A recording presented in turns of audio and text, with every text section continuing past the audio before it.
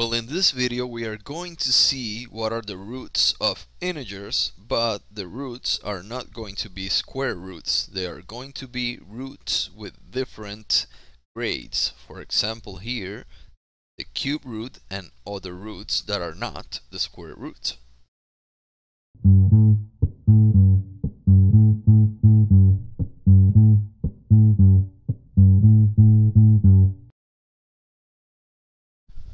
First, let's see what is the cube root of the number 8. The cube root is a root of grade 3. So, what I'm saying by the cube root of the number 8 is what number multiplied by itself a total of 3 times or what is the same thing, what number cube or what number raised to the third power will equal the number 8. And that is the number 2. If I have 2 with an exponent equal to 3, which is exactly the same thing as 2 times 2 times 2, that equals the number 8. Remember, 2 times 2 is 4, and 4 times 2 equals 8. So the cube root of the number 8 is the number 2. Now, here I have the cube root of the number negative 8. And the cube root of the number negative 8 is the number negative 2. Remember, when we were dealing with square roots, which are roots of grade 2, if you have the square root of a negative number, that equals an imaginary number. But that does not happen when you have a cube root, a root of grade 3. The reason is that I can find a number that multiply by itself a total of three times or a number cube that will equal a negative 8. That number is the negative 2. Remember, negative 2 multiplied by negative 2 equals positive 4. Two numbers that are negative multiplied together equal a positive number. So all of this equals positive 4. And now positive 4 is being multiplied by negative 2. Now I have a positive number multiplied by a negative number. And a positive number multiplied by a negative number equals a negative number. Up to here I had the number positive 4. And positive 4 multiplied by negative 2 equals negative 8. So what that means is that negative 2 times negative 2 times negative 2 which also equals negative 2 cube of neg or negative 2 to the third power equals negative 8.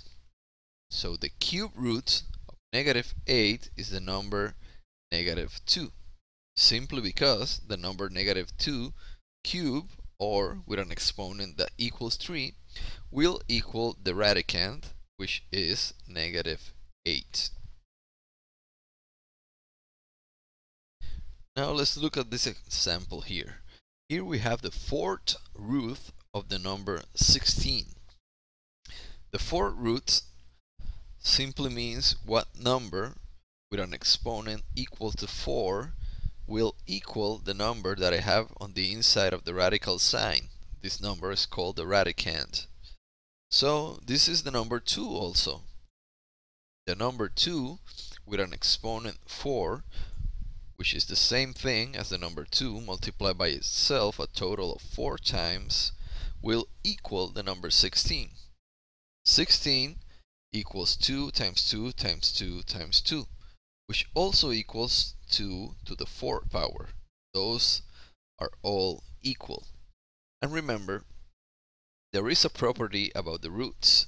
When you have a number on the radicand, on the inside of the radical sign, and that number has an exponent and the exponent is the same number as the grade of the root then that simply equals the number on the inside. What I'm trying to say is here I have the number 2 with an exponent 4 and all of that is inside of a root of grade 4. So the fourth root of the number 2 raised to the fourth power simply equals the number 2. Because of that, remember that 2 to the fourth power is 16, so the fourth root of the number 16 simply equals the number 2. This is the simplification of the fourth roots of the number 16. The fourth root of the number 16 is equal to 2. Now let's see the third, the cubic root of the number 600. The cubic root of the number 600, I'm going to rewrite or factor the number 600 into the number 300 multiplied by 2. And I'm going to do that again. I'm going to change the 300 to 150 times 2. So 600 now is exactly the same thing as 150 multiplied by 2 multiplied by 2 again. And I can continue doing that and now I have 75 times 2 from the 150. So 600 is also the same thing as 75 times 2 times 2 times 2. I'm simply factoring by dividing by 2 each time. And now I have that the square, the, the cubic root of 600 also equals the cubic root of 75 multiplied by 2 cube.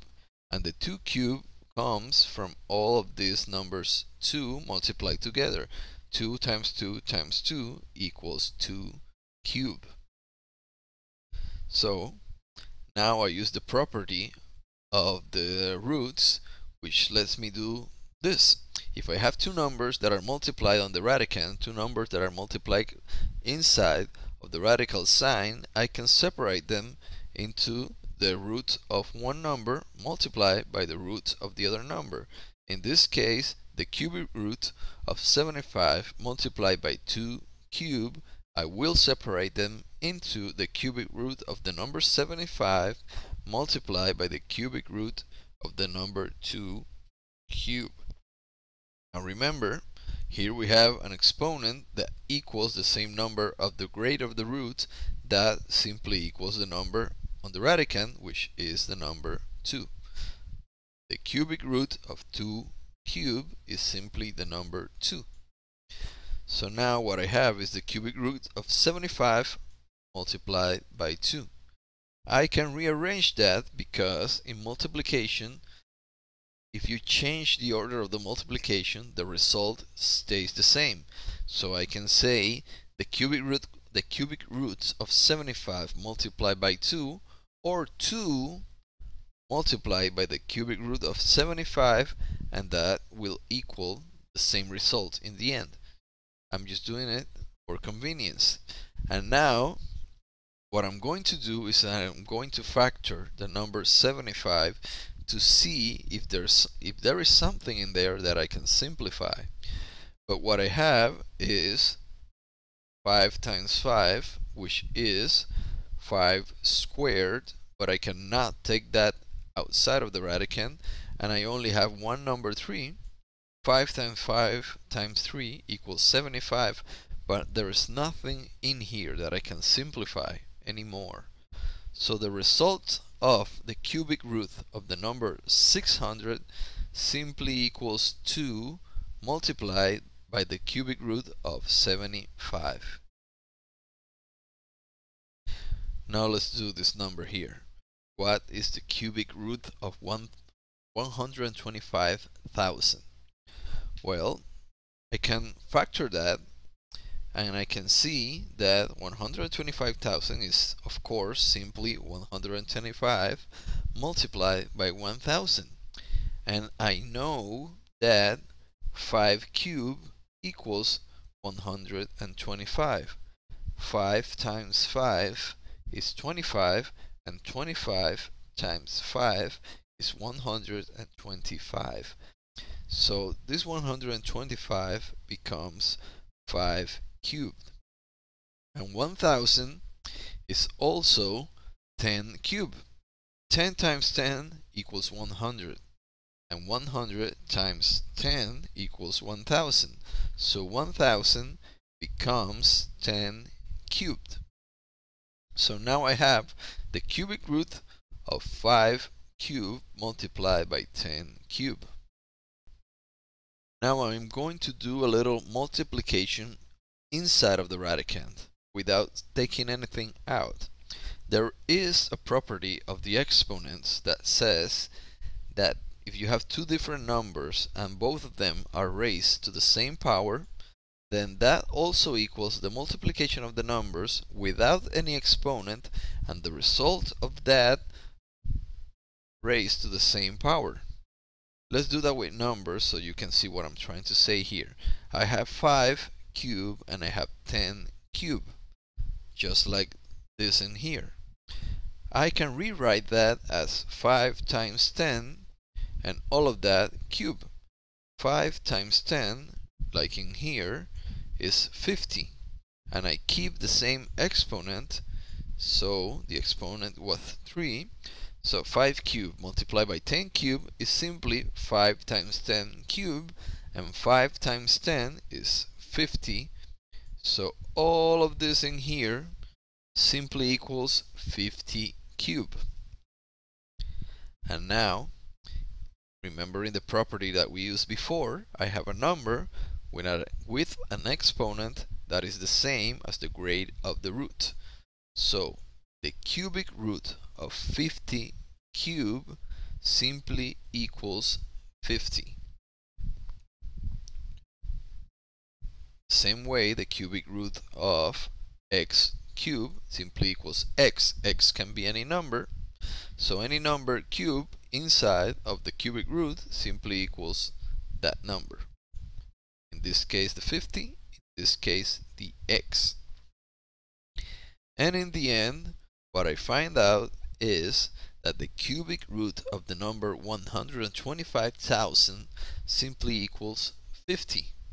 And if you want to verify if you did that correctly, you multiply 50 times 50 times 50, or what is the same thing, 50 cube and you will get the result of the radicand. And the radicand is in this case the number 125,000 that is the simplification of the cubic root of 125,000 it simply equals the number 50